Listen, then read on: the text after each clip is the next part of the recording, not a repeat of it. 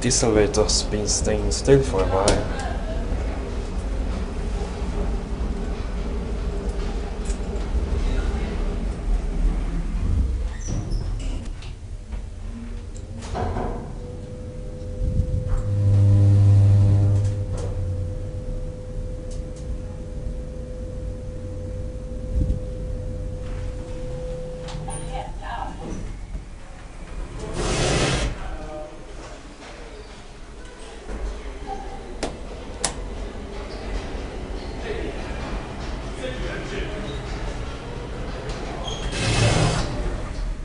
Was broken in a month.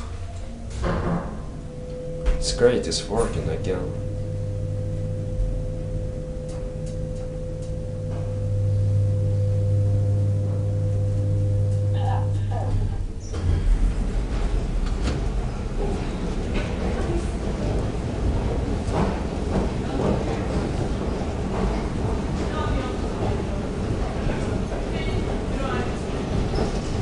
That's it.